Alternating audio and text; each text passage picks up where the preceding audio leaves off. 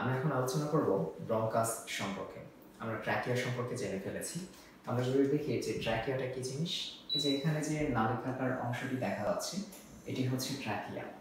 Trachea পরবর্তীতে এই দুটো ভাগে ভাগ হয়ে গিয়েছে। একটা ডান সাইডে ভাগ হয়েছে আর একটা বাম সাইডে ভাগ হয়েছে। ডান সাইডে ভাগ হওয়ার পর এটা ডান ফুসফুসে প্রবেশ করেছে, বাম সাইডে ভাগ হওয়ার পর এটা বাম ফুসফুসে প্রবেশ করেছে। এখানে ট্র্যাকিয়ার যে অংশটি ভাগ হয়ে দুটো ফুসফুসে প্রবেশ করেছে এই দুটো অংশকে বলা হয় কিন্তু ব্রঙ্কাস, ঠিক আছে?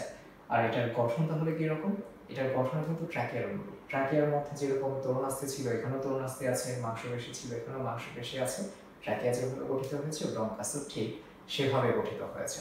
ওয়েল ব্রঙ্কাস হওয়ার পর এই ব্রঙ্কাসটা দেখতে পাচ্ছি আমরা এদিকে কিন্তু ভাগ হয়ে গিয়েছে, কয়েকটা ব্রাঞ্চিং হয়েছে হ্যাঁ এরকম করে ভাগ হয়ে গিয়েছে। এগুলোর নাম কিন্তু আবার ব্রঙ্কাস না এগুলোকে তখন বলা হয় ব্রঙ্কিওল ব্রঙ্কাসের বিভাজন ব্রঙ্কাসের শাখা। কি নাম হয়েছে? ব্রঙ্কিওল ঠিক আছে? আরেকবার হাইলাইট করি। উপরের এটা হচ্ছে ট্র্যাকিয়া বা শ্বাসনালী। ট্র্যাকিয়া যখন ভাগ হয়ে যায়, দুটো ভাগে ভাগ হয়ে যায় প্রথম ভাগ, এই দুটো ভাগকে বলা হয় ব্রঙ্কাস। ব্রঙ্কাস যখন আরও ভাগে ভাগ হয়ে যায়, এই সাইডেও ভাগ হয়েছে, এগুলোকে বলা হয় ব্রঙ্কিওল ঠিক আছে? এরপর এই ব্রঙ্কেল কার মধ্যে প্রবেশ করেছে? দুটো পিঙ্ক কালারের স্ট্রাকচার এটা একটা। আবার এই সাইডে আরেকটা।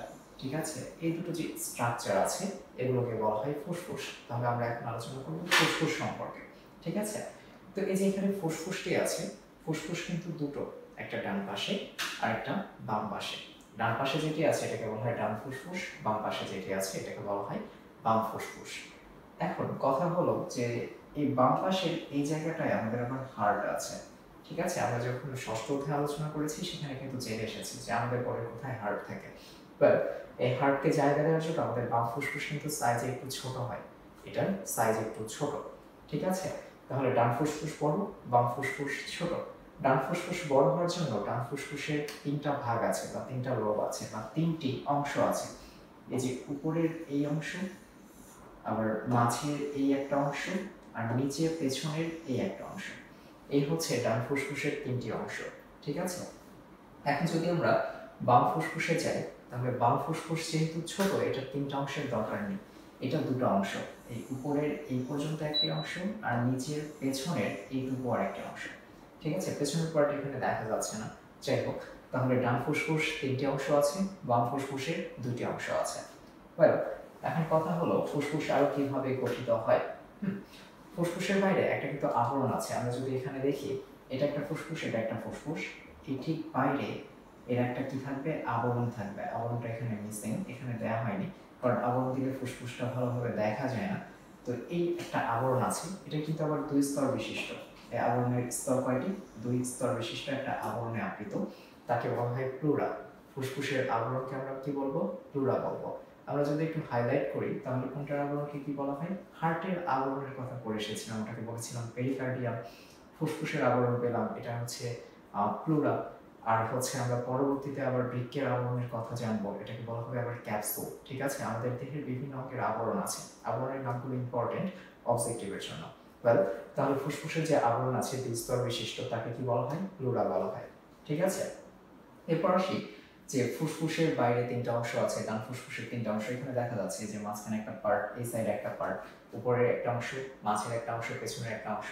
এখানে তো এটা সেকশন করা হয়েছে দ্যাটস ওয়াই দুটো পার্ট দেখা যাচ্ছে না। তারপরে এই যে, এই দিক দিয়ে এটা একটা অংশ, আর এই নিচের, এই পেছনের এটা একটা অংশ। ঠিক আছে? এটা হচ্ছে বাম ফুসফুসের অংশ। এখন কথা হলো যে, ফুসফুসের মধ্যে কি আছে? এখানে আমরা দেখছি এটা তো শ্বাসনালী বা ট্র্যাকিয়া ছিল। ট্র্যাকিয়া দুটো ভাগে ভাগ হয়ে গিয়েছে ডান সাইড বাম সাইডে তারপর এই ট্র্যাকিয়াটা আবার কিন্তু হয়েছিল।